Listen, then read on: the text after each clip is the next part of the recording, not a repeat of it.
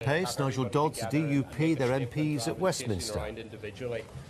So, um, following the events of yesterday, there's been a lot of speculation why no agreement was secured in Brussels. Uh, and for our part, um, as we made clear in the House just a, a few short minutes ago, the Democratic Unionist Party has repeatedly and consistently made clear that Northern Ireland must leave the European Union on the same terms as the rest of the United Kingdom.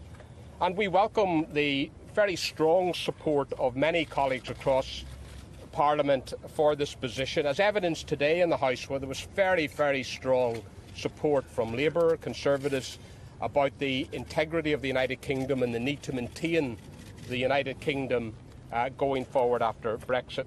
So we will not accept any principles or language in phase one which lays the foundations for separating Northern Ireland politically or economically from the rest of the United Kingdom.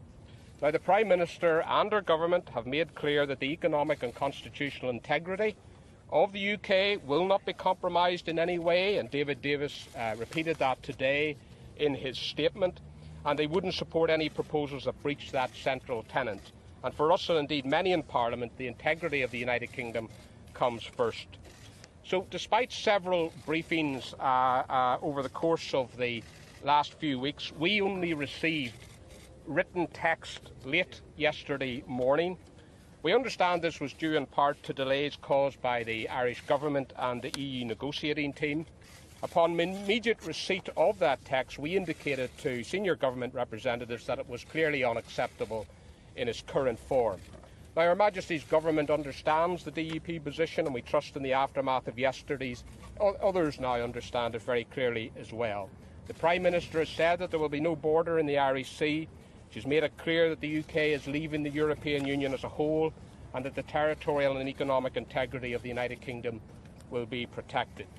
So we want to see a sensible Brexit, and we will continue to work through the detail of all these issues with the government today and in the coming days. These are issues are of such vital importance to our nation as a whole that we must work for as long as it's necessary to ensure that they're got right. So the DUP does stand strong for the Union, and we also issue a warning today to the Dublin government that by continuing its aggressive stance, they are in danger of delivering for themselves the very outcomes that they say they want to avoid. So now more than ever, it's clear that we took the correct view in encouraging people throughout the United Kingdom to vote to leave the European Union. So we'll take a few questions. Timothy. Laura. Okay.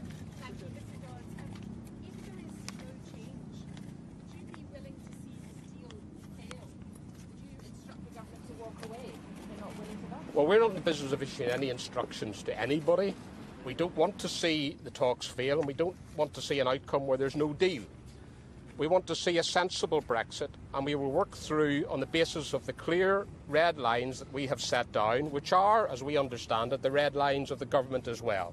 So, a sensible Brexit in which the UK leaves as one nation uh, with a sensible relationship with the rest of the EU, with a soft border in the uh, island of Ireland, which can be done on the basis as set out in the government's paper back in August but we have to move forward in a progressive way, and we will work constructively to achieve that end.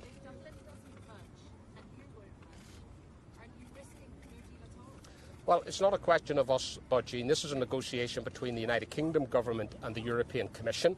The European Commission, unfortunately, I think, and maybe to the regret of some of the other member states, ceded a veto to the Irish Republic, uh, and that's a matter that they will maybe want to reconsider we, for our part, are very confident about where we stand, and we're very confident that the British government understands that when you translate red lines into text, the text has got to reflect what is the red lines. Robert Peston. Robert. Stop Brexit! it's not a done deal! Right, Robert. Great. Um, if the government were to persist with an offer to the EU that you saw as bringing the risk of or introducing a border between Northern Ireland and the rest of the UK, would you be prepared to tear up your pact that keeps the Conservative Party in power? I don't think the government will consider that. I don't think they will go down the route of trying to impose something that would, in our view, uh, disrupt politically or economically Northern Ireland from the rest of the United Kingdom. So I don't think that scenario will arise. But do you have any sense that they have got an offer that you regard as sensible? Well, we continue to work with the government. Uh, we have uh, very good discussions with them.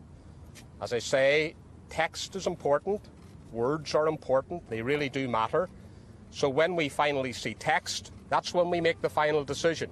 And clearly, the text that we were shown very late yesterday morning did not translate what we had been told in general conversations into reality because there was far too much ambiguity uh, and didn't actually nail down the issues that need to be nailed down. Gary, yes. Thank you. Um, David Davis said in the House, regulatory alignment is not a word to be a phrase to be price control. It doesn't mean harmonisation. Do you agree? Well, Northern Ireland already has a single uh, energy market with the Irish Republic, so there are areas where we can cooperate with the Irish Republic, and indeed where it may make sense to have some kind of regulatory alignment in certain specific areas, but not in relation to the following the rules of the single market or the customs union for Northern Ireland as a generality. Uh, the fact of the matter is that this whole issue of no divergence and regulatory alignment, in our view, has been brought in by the Irish Republic. The fact is that there were sensible and are sensible ways of dealing with the Irish border which don't involve that through technology and trusted trader status and exemptions.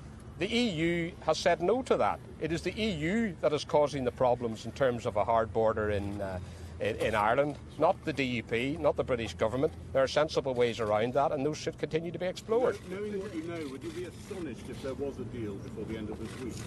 Would I be astonished? Uh, I've learned not to be astonished at anything in politics anymore.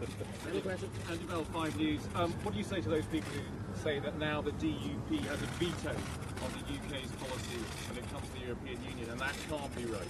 No, no, the DUP doesn't have any veto. Um, the Irish Republic does have a veto.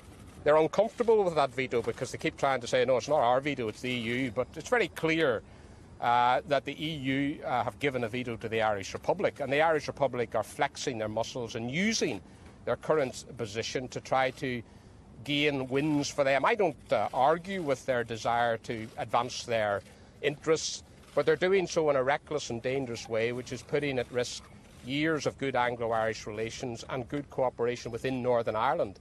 Uh, and there is a noticeable change in tone and aggression from the Irish Republic since Leo Varadkar and Simon Coveney took power compared to the previous administration. So they are the ones that are in danger of bringing about problems as a result of the use of a veto, not us. Tom Rayner, Sky News. You said that there was some ambiguity in the text that you received yesterday morning. Did anything that David Davis just said in the House of Commons clear that up? Did the government change its position at all in what he said? Well, the government have always been clear about their red lines, and, and we talked to them, and we have been very clear to them, and them clear to us. But as I make, have said previously, what matters is the text. What matters are the words that are used in text and in international treaties and agreements. And it's vitally important that text translates accurately what are the general principles of political agreement. And when we negotiated uh, the, Bell, uh, the St Andrews Agreement and other agreements, that has always been the key test. We have sought to uh, engage the government uh, on that text. The government showed us that text late yesterday morning. Did the government try to bounce you into a deal? Okay, last question. You say you want to hold the United Kingdom together. Are you not worried that you're actually jeopardising the future of the United Kingdom by delaying our Brexit? No, no. I think that what you heard in the House of Commons today, what you've heard from Ruth Davidson, what you've heard from uh, right across the House of Commons, and indeed the strong support we have been getting as we've been here since Monday uh, among backbenchers of every hue, is that one thing that will not be allowed to happen is that the United Kingdom is broken up. And uh, it's really gratifying this today to hear Keir Starmer reiterate that very strongly, Labour backbenchers making that very clear, uh, and I think Ruth Davidson's uh, intervention and her comments uh, have been uh, very, very welcomed by people in Northern Ireland, and Arlene Foster and, and Ruth uh, spoke earlier today as well. Thank you very much. Okay, thank you very much. Thank you. Thank